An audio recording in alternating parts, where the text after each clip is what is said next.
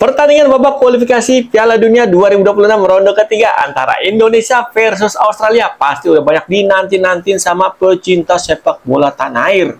Dan pasti banyak yang optimis nih kalau timnas Indonesia nanti lawan Australia tanggal 10 September 2024 bakal menang alias dapat poin penuh. Karena apa?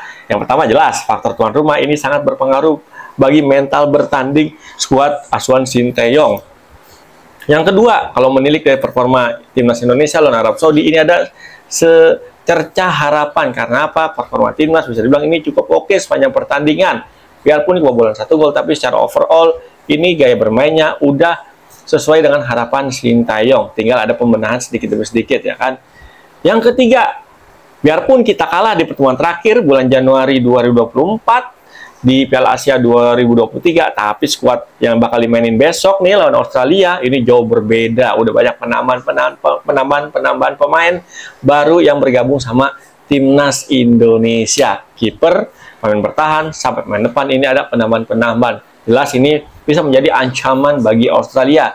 Ya sih secara rekor pertemuan Australia masih dominan banget atas Indonesia. Tapi kalau kita lihat apa namanya itu? Sepak bola kan nggak melulu masalah statistik di atas kertas ya kan? Di, di, atas lapangan ini bisa berbeda jauh nanti ketika pertandingan udah bergulir.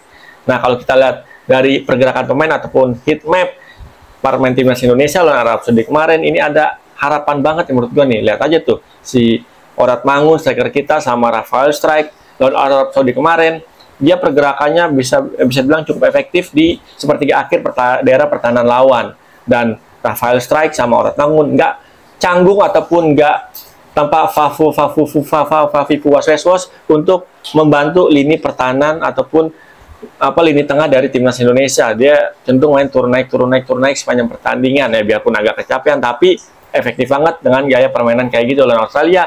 Perlu diulangi lagi nih. Nah yang jadi kekurangan adalah menurut gua kalau kita lihat dari hitmapnya adalah pergerakan sisi main sayap dari timnas Indonesia nih.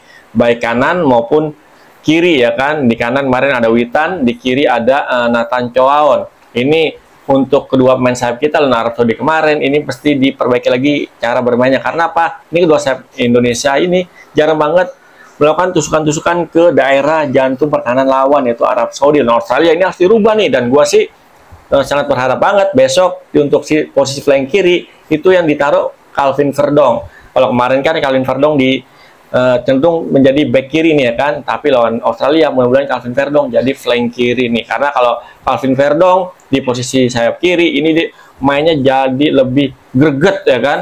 Akurasi tendangannya bisa membahayakan lawan terus tusukan-tusukannya katin-katinnya ini juga bisa merepotkan barisan pertahanan Australia nanti. Untuk mengisi posisi Calvin Calvin Verdong bisa mainin Justin Hapner ya kan tapi kalau kita lihat statistik atau ataupun heatmap dari Calvin Verdong dan Arab Saudi kemarin ini benar-benar dahsyat banget Calvin Verdong. Dia nggak melulu ada di sebelah kiri, dia ada di kanan, sering banget tuh di tengah juga. Dan berapa kali sekali atau dua kali dia bisa masuk ke sepertiga akhir daerah pertahanan lawan tuh. Nah makanya kalau Calvin Verdong besok lawan Australia ditaruh sebagai flank kiri, gue optimis banget nih.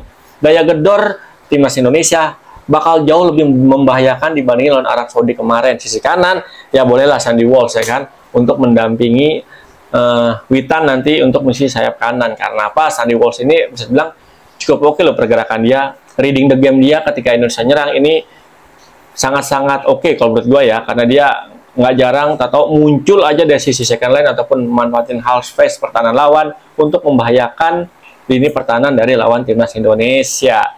Di tengah mungkin kalau kita kemarin ini kekurangannya adalah Tom Hai ini jarang banget dapat celah untuk melakukan shoot dari luar kotak penalti seperti yang diperagakan pas lawan Filipina tuh. Nah, kalau besok lawan Australia ya kalau Nathan Chown bisa dampingin Calvin Verdong dan Ivar Renner mungkin yang jadi main cadangan.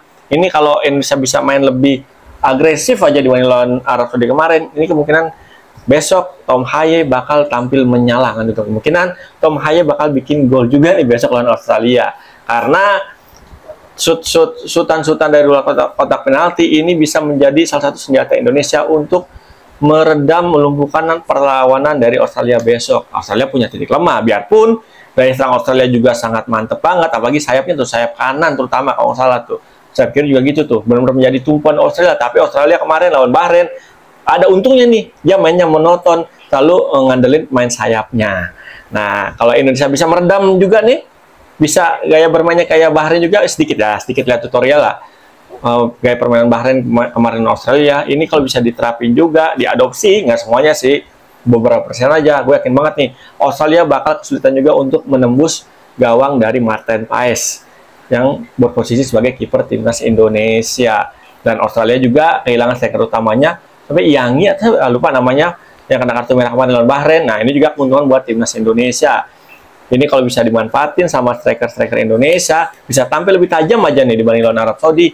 Gue sangat optimis sih Indonesia bakal bisa dapat poin 3 besok lawan Australia. Ya, seenggak-enggaknya kita menang tipis-tipis saja lah. Kalau nggak 1-0, 2-0 udah cukup Pak buat mendongkrak posisi timnas Indonesia di papan klasmen sementara babak kualifikasi Piala Dunia 2026 ronde ketiga di grup C. Karena kan sementara Jepang ada di puncak klasmen. Nah, menurut kalian gimana nih? Kalau punya komentar, lainnya punya analisis, punya unek-unek, silahkan tulis di kolom komentar channel YouTube gua di konten ini tentunya. Yang udah subscribe, thank you banget. Yang belum, silahkan subscribe channel YouTube Irwan Chan. Ketemu lagi bersama Irwan Chan di konten-konten pundit abangan berikutnya. Salam olah bola.